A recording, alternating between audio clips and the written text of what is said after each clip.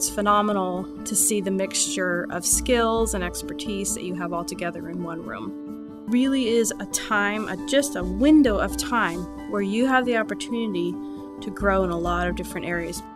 It's been a learning experience for me, and I've found mentors in places I had no idea they were waiting for me to find them. And I would say that has been a good journey.